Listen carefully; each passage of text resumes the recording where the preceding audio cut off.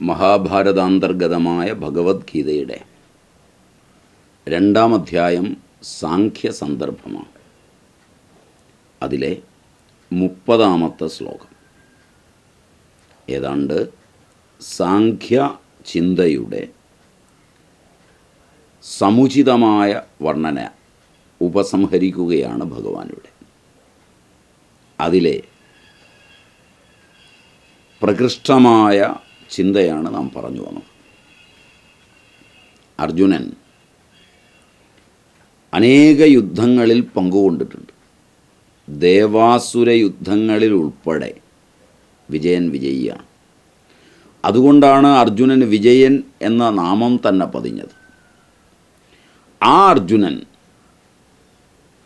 മഹാഭാരത യുദ്ധക്കളത്തിൽ ദുർബല ഹൃദയനായി നിൽക്കുന്നു. ഇതൊരു കാഴ്ചയാണ്. അർജുന ജീവിതത്തിന്റെ പൂർവചരിതങ്ങളെല്ലാം മാറി മറിയുന്ന ഒരു കാഴ്ചയാണ്. വളരെ ശ്രദ്ധിച്ചു വേണം ഇതിൽ നമ്മൾ കൈവക്കാൻ. ദുർബല ഹൃദയനായ അർജുനൻ എങ്ങനെ എല്ലായിടത്തും വിജയിച്ചു എന്ന് പറയും. എന്ത് എല്ലായിടത്തും ഭാഗ്യം തന്നെ വിജയത്തെ തരുമോ? അർജുനൻ പുരുഷാർത്ഥി എന്ന നിലയിൽ ബലവാനെന്ന് പ്രസിദ്ധി പെറ്റവനാണ്. അർജുനനെ നാം ഒരിക്കലും ഭാഗ്യാവലംബിയായി കണ്ടിട്ടുമില്ല. ജീവിതത്തിൽ പുരുഷാർത്ഥസിദ്ധി കൊണ്ട്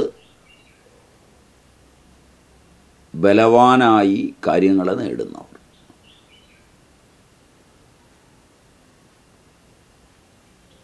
അങ്ങനെ കാണാറുണ്ട്. ബലം തന്റേതല്ല എന്ന് വ്യക്തമായി അറിഞ്ഞ് സുഖദുഃഖങ്ങളെ സമീകരിച്ച് ജീവിക്കുന്നവർ. അങ്ങനെയുള്ളവരെയും കണ്ടിട്ടുണ്ട്. ബലം തന്റെയാണോ അല്ലയോ എന്നൊന്നും അറിയാതെ സാധാരണതയാ ജീവിക്കുന്നതിനിടയിൽ ഭാഗ്യം കൊണ്ട്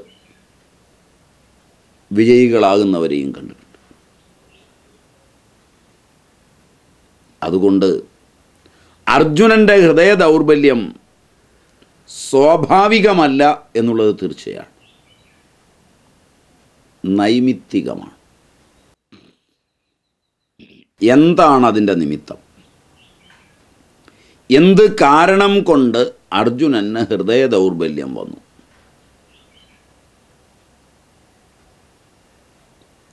ഹൃദയ ദൗർബല്യത്തിന് കാരണം വിശേഷം വാ സാമാന്യമെന്ന് രണ്ട് തരത്തിലുണ്ടാവും. വിശേഷവിധിയായ ഹൃദയ ദൗർബല്യത്തിന് ആ വ്യക്തിക്ക് മാത്രം ഉതകുന്ന മറുപടിയാണ് വേണ്ടത്. സാർവലൗകികമായ ഹൃദയ ദൗർബല്യത്തിന് വ്യക്തി അധിഷ്ഠിതമായ ഔഷധം മതിയാവില്ല. അപ്പോൾ ഹൃദയ ദൗർബല്യം വ്യക്തി അധിഷ്ഠിതം അഥവാ വിശേഷം. സവിശേഷമായി ഒരാൾക്ക് അയാളുടേതായ മാത്രം കാരണം കൊണ്ട് സാർവലൗകികമല്ലാത്ത കാരണം കൊണ്ടുവരുന്ന നൈമിത്തികങ്ങളായ ദൗർബല്യങ്ങളുണ്ട്. സ്വാഭാവികങ്ങളല്ലവ. എന്ത് കാരണം കൊണ്ടാണ് അർജുനന് ദൗർബല്യമുണ്ടായത്? ഇതിനുത്തരം ആചാര്യ ശങ്കരാചാര്യർ ഭാഷ്യത്തിൽ പറയുന്നത് മോഹം കാരണമാണെന്നാണ്. മോഹം നിമിത്തമായ ഹൃദയ ദൗർബല്യം സ്വാഭാവികമല്ല. ഭഗവാൻ തന്നെ പറയുന്നുണ്ട് യദഹങ്കാരമാശ്രിത്യ നയോത്സ്യ ഇതി മന്യസേ മിഥൈവ വ്യവസായസ്തേ പ്രകൃതിം സ്ത്വം നിയോക്ഷ്യസി നിയോക്ഷ്യതി. അല്ലയോ അർജുന? കർത്തൃത്വാഭിമാനം ഹേതുവായി. ഞാൻ കർത്താവാണ് എന്ന് അഭിമാനിച്ച് ഞാൻ യുദ്ധം ചെയ്യുകയില്ല എന്ന് നീ വിചാരിക്കുന്നുവെങ്കിൽ നിന്റെ ഈ നിശ്ചയം വെറുതെയാണ്. നിന്റെ സ്വഭാവം നിന്നെ അതിൽ പ്രവർത്തിപ്പിക്കും. ആത്മാവിന്റെ അകർത്തൃത്വം നിശ്ചയമാകുന്നതുവരെ ആരും കർമ്മത്തെ വെടിയുന്നില്ല. വെടിഞ്ഞാലും കർമ്മം അയാളെ വിട്ടുപോകുന്നില്ല. ആത്മാവിന്റെ അകർത്തൃത്വം ബോധ്യമായി ആത്മബോധം വന്ന് ദേഹാഭിമാനം വെടിയുമ്പോൾ മാത്രമാണ് കർമ്മം ഒരുവനെ വിട്ടുപോകുന്നത്. മായ അജ്ഞാനം എല്ലാം ഒരുവനെ വിട്ടുപോകുന്നത് അപ്പോഴാണ്. അതുകൊണ്ട് നീ എന്നുവരെ ഞാൻ കർത്താവാണെന്ന് അഭിമാനിച്ച് നിൽക്കുന്നുവോ അന്നുവരെ കർമ്മം നിന്നെ വിട്ടുപോകില്ല മാത്രമല്ല ആ സമയത്ത് ഞാൻ യുദ്ധം ചെയ്യില്ല എന്ന് നീ വിചാരിക്കുന്നു എങ്കിൽ നിന്റെ വിശ് നിശ്ചയം വെറുതെ ആവുകയും ചെയ്യും. നീ യുദ്ധം ചെയ്യുക തന്നെ ചെയ്യും. ജ്ഞാനികളെ അനുകരിക്കുന്നത് പാഴ്വേലയാണ് അനുസരിക്കുന്നത് ആനന്ദമാണ്. ഇത് നിന്റെ പ്രകൃതിയും സ്വഭാവവും അറിയാതുള്ള വഴിയാണ്. നിന്റെ സ്വഭാവവും നിന്റെ പ്രകൃതിയും കർത്തൃത്വാഹങ്കാരമുള്ളതാകൊണ്ട് അവശനായെങ്കിലും നീ കർമ്മം ചെയ്തേ മതിയാവും. ഇത് നിന്റെ വ്യവസായ മിഥ്യയാണ് നീ യുദ്ധം വേണ്ടെന്ന് വെച്ച് ഓടിപ്പോയാലും തിരിച്ചു വന്ന് യുദ്ധം ചെയ്യും. ഈ ശ്ലോകത്തിൽ ഭഗവാൻ വിലക്ഷണമെന്ന പോലെ പറയുന്നതായി തോന്നാം. അഹങ്കാരം കൊണ്ട് നിങ്ങൾ യുദ്ധം ചെയ്യുന്നില്ല എന്ന് വിചാരിക്കുന്നു. അതാണ് അവിടുത്തെ ഒരു വിലക്ഷണ പ്രകൃതം പോലെ തോന്നുന്നത്. അഹങ്കാരം കൊണ്ട് യുദ്ധം ചെയ്യുന്നു എന്ന് പറഞ്ഞാൽ നമുക്കെല്ലാം മനസ്സിലാവും. നിന്റെ അഹങ്കാരമാണ് നീ ആ കർമ്മം ചെയ്തത്. ലോകത്ത് അഹങ്കാരം മനുഷ്യനെ കർമ്മഠനാക്കി തീർക്കുകയും അഹങ്കാരം കൊണ്ട് ആയിരം ആയിരം കർമ്മങ്ങൾ ചെയ്യുകയും ദുഃഖിക്കുകയും ചെയ്യുന്നു എന്ന് ശാസ്ത്രം പൂർവപക്ഷമായി പേർത്തും പേർത്തും പറയാറുണ്ട് അനുഭവമുണ്ട്. ആളുകൾക്ക് അംഗീകരിക്കാൻ എളുപ്പമാണ്. പക്ഷെ ഭഗവാൻ ഇവിടെ പറയുന്നത് നേരെ തിരിച്ചാണ്. അഹങ്കാരം കൊണ്ട് നീ യുദ്ധം ചെയ്യാതിരിക്കുന്നു എന്നാണ് പറയുന്നത്. അതാണ് തിരിച്ചറിഞ്ഞ് ഭഗവത്ഗീതയിൽ മനസ്സിലാക്കേണ്ട കാര്യം. അഹങ്കാരം കൊണ്ട് കർമ്മം ചെയ്യുന്നു എന്ന സത്യം പകൽ പോലെ പരമാർത്ഥമാണ്. ഒരാൾ അഹങ്കാരം കൊണ്ട് കർമ്മം ചെയ്യാതിരിക്കുന്നു എന്നത് എങ്ങനെയാണ് മനസ്സിലാക്കുക? അതാണ് അതിന്റെ വിലക്ഷണ പ്രകൃതി. അഹങ്കാരം കൊണ്ട് യുദ്ധം ചെയ്യാറുണ്ട്. അഹങ്കാരം കൊണ്ട് യുദ്ധത്തിൽ നിന്ന് ഓടാറുണ്ടോ?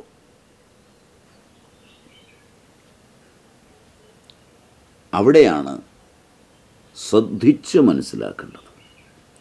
യുദ്ധത്തിൽ നിന്ന് പലായനം ചെയ്യുകയെന്നാൽ അതൊരഹങ്കാരത്തെ നശിപ്പിക്കുന്ന പ്രക്രിയയായാണ് നാം എല്ലാം മനസ്സിലാക്കി വച്ചിരിക്കുന്നത്. അയാൾക്ക് അഹങ്കാരം തീരെയില്ല. അതുകൊണ്ട് അയാൾ ഓടിപ്പോയി.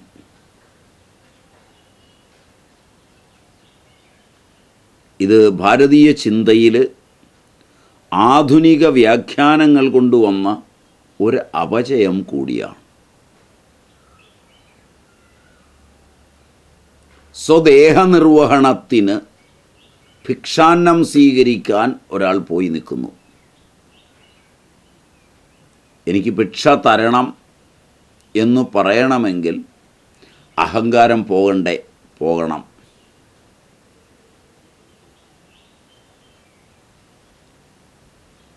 ഞാൻ ഭൈക്ഷ്യം സ്വീകരിക്കാൻ വന്നിരിക്കുന്നത്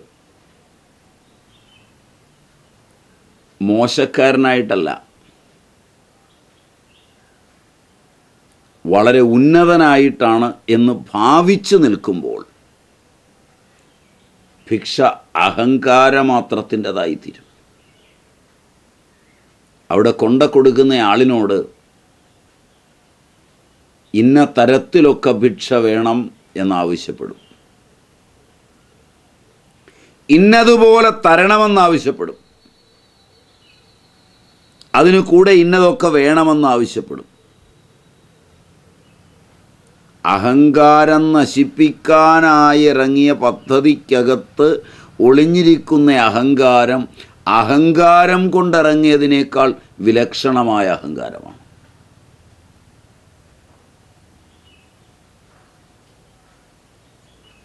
അഹങ്കാരത്തിൽ നിന്ന് പോകാൻ ജ്ഞാനം ഒരു വഴിയാണ്.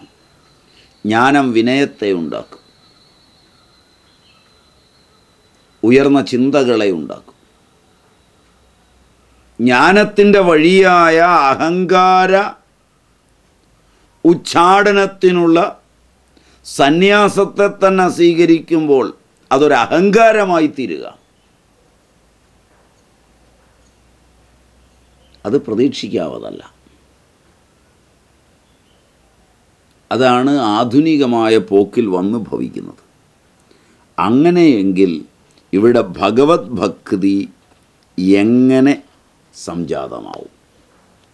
യുദ്ധത്തിൽ നിന്ന് ഒളിച്ചോടുന്നതും അഹങ്കാരം കൊണ്ടാണ് അഹങ്കാരത്തെ നശിപ്പിക്കുകയല്ലേ എന്ന് രണ്ട് തരത്തിലുള്ള ചിന്ത വരുമ്പോൾ ഭഗവത് ഭക്തി എങ്ങനെ സംജാതമാകും?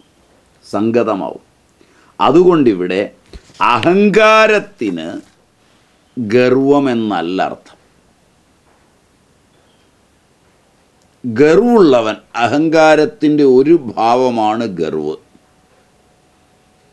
അതുള്ളവൻ പലായനം ചെയ്യില്ല. ഗർവുള്ളവൻ ശക്തനല്ലെങ്കിൽ കൂടി ശക്തി പ്രദർശിപ്പിക്കും. ഒരു ബഹളമൊക്കെ വെക്കും.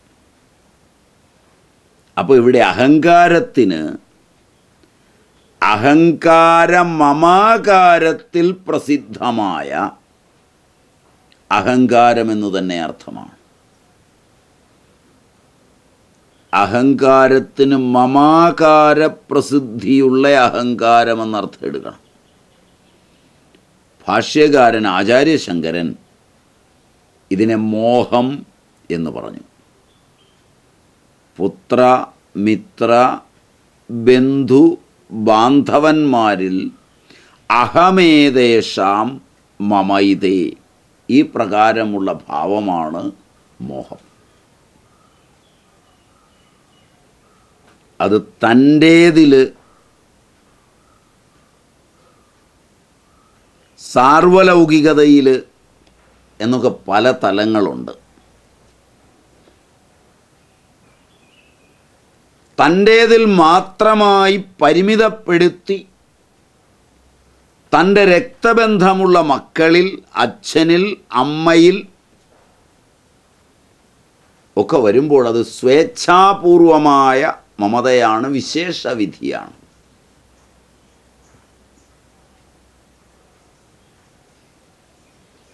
അത് എല്ലാവരെയും ചേർത്തുവച്ച് സജീവമായ വി സാർവലൗകിക മമതയിലേക്ക് ഉയരുമ്പോൾ ഹൃദയത്തിന് ദ്രവീകരണ ശക്തി വരികയും ഭക്തിഭാവം ഉണ്ടാവുകയും സർവത്തിലും ദുഃഖത്തിൽ തപിക്കുകയും ചെയ്യുന്ന ഒരവസ്ഥ വരിക. സർവത്തിലും അറിവ് വന്നാൽ ഇന്ദ്രിയങ്ങളിലും മനസ്സിലും ബുദ്ധിയിലും അന്ധക്കരണ വിശിഷ്ടമായിട്ടല്ല അത് സംഭവിക്കേണ്ടത്. ആത്മവിശിഷ്ടമായിട്ടാണ് അത് സംഭവിക്കേണ്ടത്. ആത്മവിശിഷ്ടമായി സംഭവിക്കാതെ അന്ധക്കരണ വിശിഷ്ടമായി സംഭവിച്ച് കൃപാലു എന്ന പോലെ അന്യന്റെ വേദനകളെയും യാതനകളെയുമെല്ലാം സ്വയം സങ്കൽപ്പിക്കുമ്പോൾ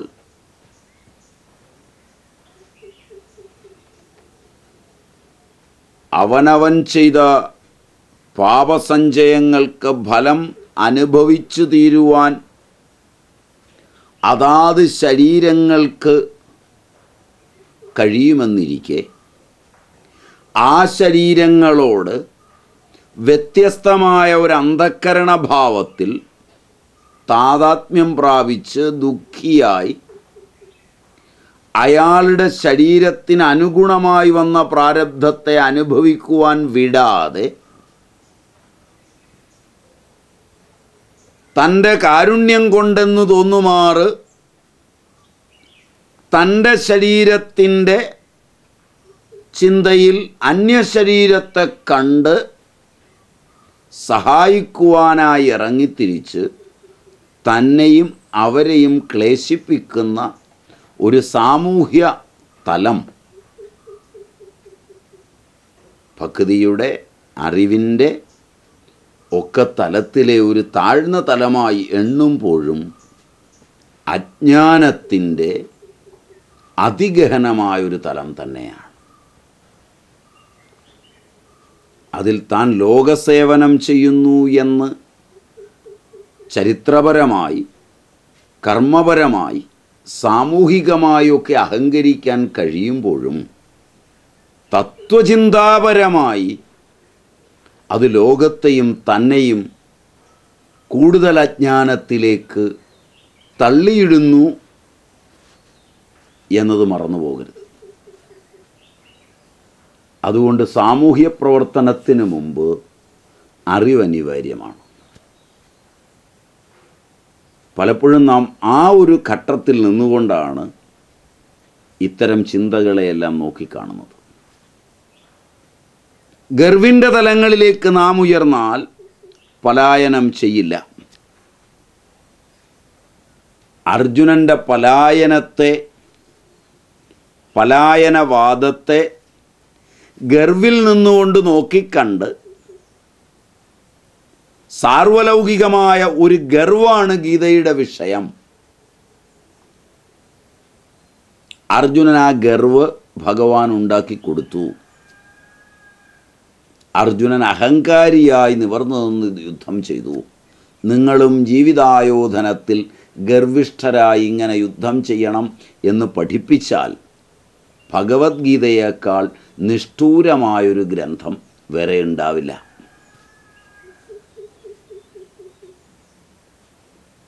അതല്ല ഗീതയുടെ ലക്ഷ്യം. ഇത് പ്രത്യേകം നാം ഓർക്കേണ്ടതാണ്. ഈ സാഖ്യ സന്ദർഭത്തിന്റെ ഉപസംഹാര ശ്ലോകത്തിൽ പലപ്പോഴും ഭഗവത്ഗീതയെ കർമ്മത്തിലേക്ക് വലിച്ചിഴച്ച് വ്യാഖ്യാനിക്കുന്ന ആളുകൾ